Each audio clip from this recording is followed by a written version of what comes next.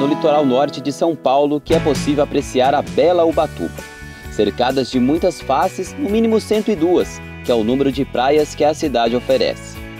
As atrações surgem em forma de enseadas e baías de águas verdes e azuis, emolduradas quase sempre pela densa vegetação da Serra do Mar.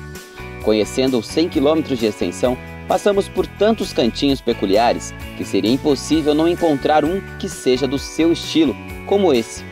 Em funcionamento desde 2012, o sítio Araribá traz com a exuberância a alegria desse casal de empresários. O espaço foi adquirido pelo pai de Fernando e foi por muitos anos a casa de veraneio da família. Esse aqui é um lugar que meu pai escolheu é, mais ou menos em 1977 para fazer, fazer uma casa onde que pudesse onde ele pudesse ter um pouco de sossego, né? A princípio era um sítio que só tinha um canavial, o alambique e as cachoeiras. Aí ele teve a ideia de fazer uma casa, que é essa casa aqui.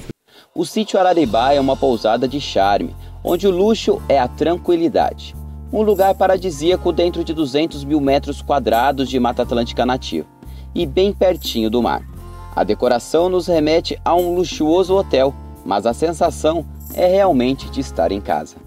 É uma casa que tem mais ou menos 1.800 metros quadrados, são nove suítes, tem a sala, é, uma sala grande onde gente serve o café, tem a piscina, tem um anfiteatro, salão de jogos, sauna, a gente tem quadra de tênis e várias trilhas, né?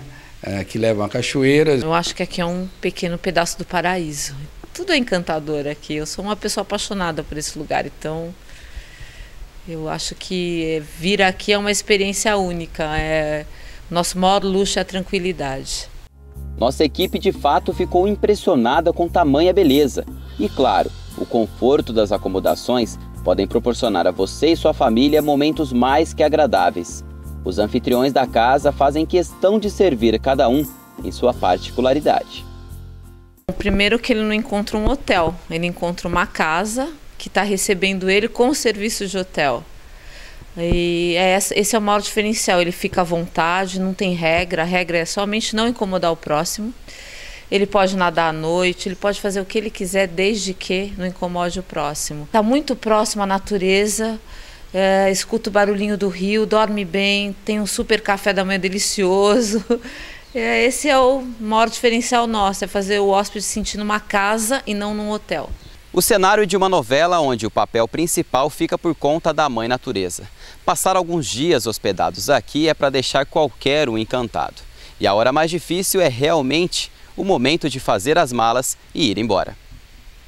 A felicidade também é quando os hóspedes entendem o lugar que eles estão, e a nossa proposta e percebem que era exatamente isso que eles queriam.